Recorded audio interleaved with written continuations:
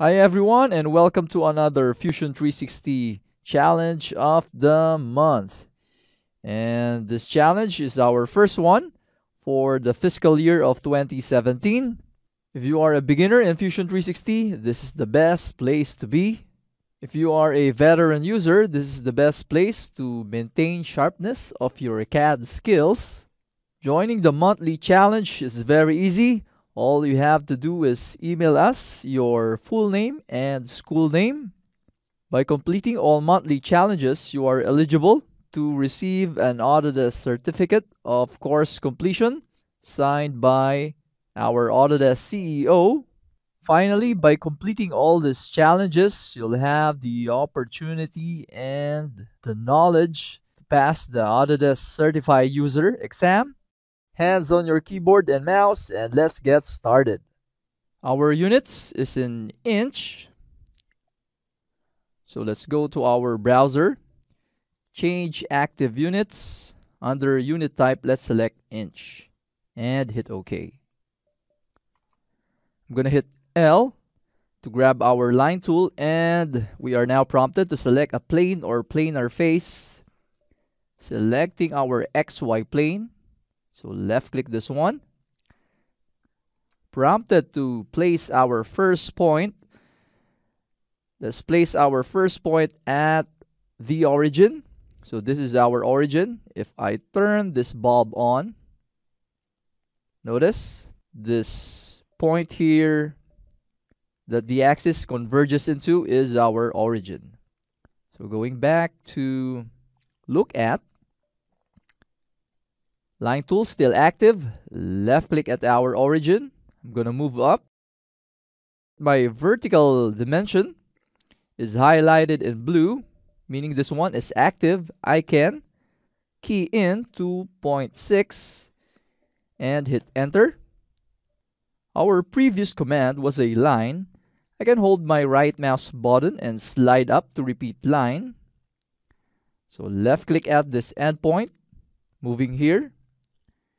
And if I left click, so notice the dimension was not placed. Let's move down, left click once more, moving here, left click. Now I'm going to hover over our origin and move slowly to the right. So notice those blue dashed line and an inferred parallel constraint and from that, I can left click once more. Now, because I performed a left click, it immediately placed a parallel constraint. Now, moving to our origin, left click, and this area suddenly turned into yellow. This is a clear indication that this area is now a closed region and is now a profile. And as I move my cursor, you can see a blue dashed line. So that is a inferred object snap. If you want this disabled, you can hold control. So notice as I move my cursor, no more blue dashed line. Moving forward, I'm going to hit D to grab our dimension. Now our dimension is located under Sketch, and sketch dimension is located here at the bottom. So moving forward, we're going to select this vertical line. Now, as I hover, notice it highlights.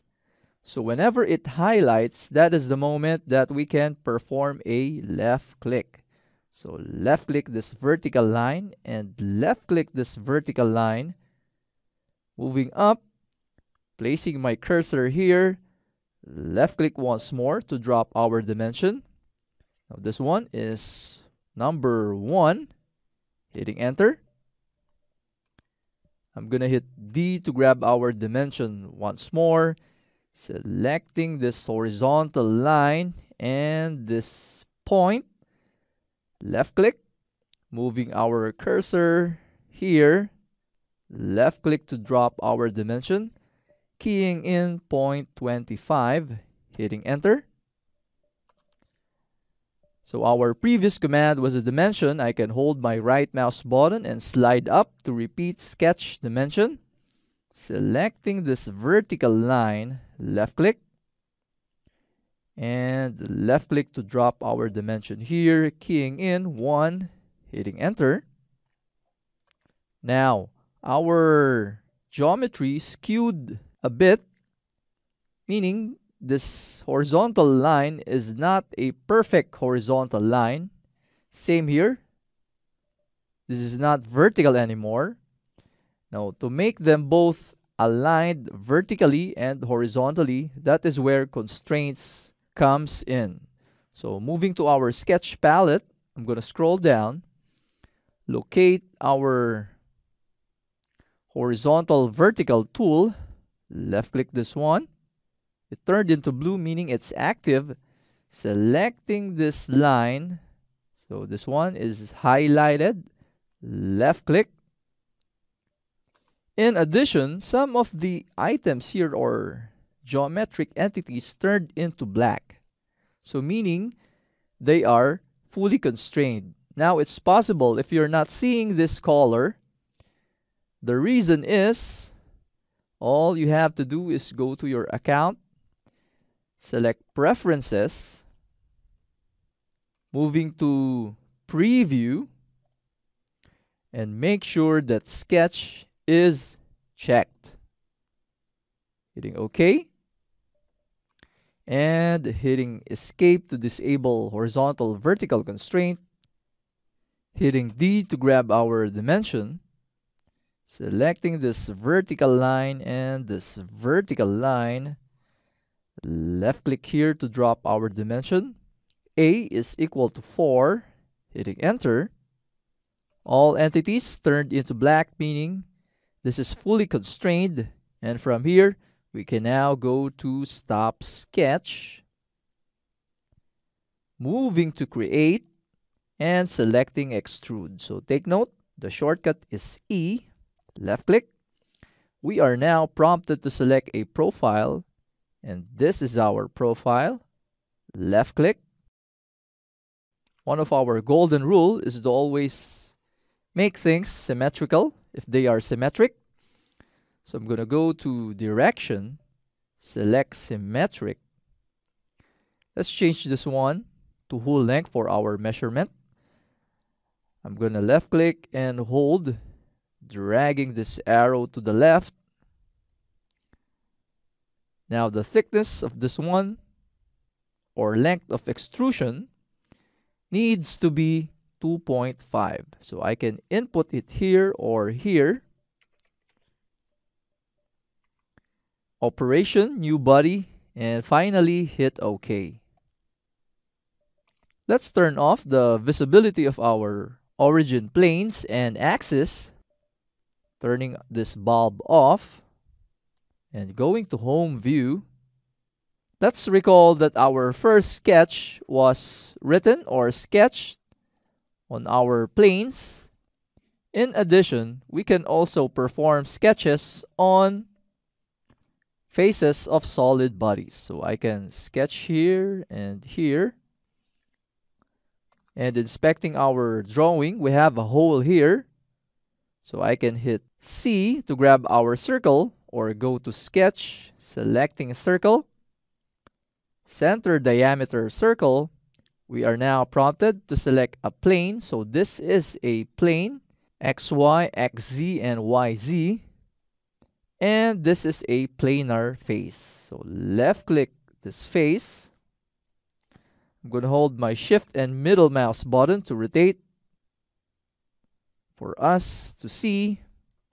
So moving to our top view, left click, and we can also rotate by selecting this curved arrow, left click. Our design intent is to position our circle or hole here at the middle. Let's place our center point here. Left click. So our dialog box is currently highlighted in blue. I can key in 0.562, hitting enter. In addition, we can also reposition our dimension. So let's hover over this dimension, left click and hold, and drop this one here. Release. So hitting D to grab our dimension, selecting this vertical edge and our center point, left click, moving up, and I'm going to hold my middle mouse button to pan. So notice our cursor turned into a hand, release, and left click here. I'm going to key in 0.5, hitting enter, hitting D once more to grab our dimension, selecting our center point, and this horizontal edge, left click, moving over here, left click to drop our dimension. I'm going to key in 1.25, hitting enter. It turned into black, meaning it's fully constrained. I can hit stop sketch or I can immediately hit E to grab our extrude tool. Let's go to home view. Prompted to select a profile, selecting the circular profile, left click. And if I drag our arrow up, we are adding a material. And if I drag this down, Fusion 360 knows that we are subtracting material. Now the depth is negative 1.5.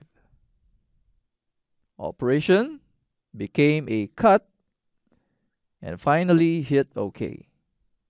Going back to home view, moving to the challenging portion of this monthly challenge, I'm going to go to sketch and select point now we are prompted to select a plane or planar face. Selecting this planar face, left click. Let's drop our point here at this edge. So left click, hitting escape. We now have a coincident constraint.